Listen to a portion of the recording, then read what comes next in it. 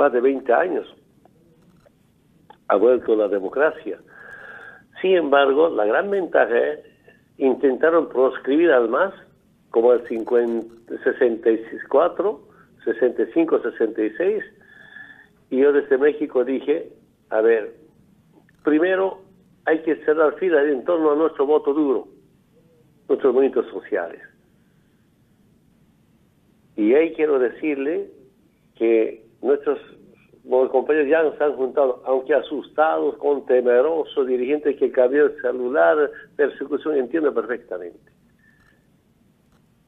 Después, la segunda semana después del golpe, hubo una encuesta. Yo dije, yo no soy el candidato, que haya nuevas elecciones. Y en la encuesta el MAS seguía primero. Ese me valentonó. Aquí no hay proscripción del MAS. Ya otra vez desde México todavía, organizando, fortaleciendo, planificando, y ahora es basta de primero. Y la derecha no quiere que haya elecciones. Sabe, quiero que sepa la población. Ah, el plan o la línea política norteamericana para Bolivia es suspender elecciones de manera indefinida. Segundo, cerrar la asamblea. Y tercero, poner en vigencia mediante un decreto ley la constitución de 1994.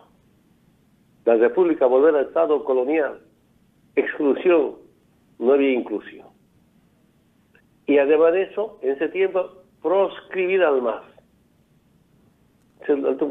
Entonces, frente a eso, ¿qué hacemos?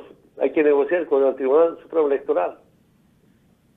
Entonces negociamos y acordamos, ahora las elecciones están garantizadas para el 6 de septiembre.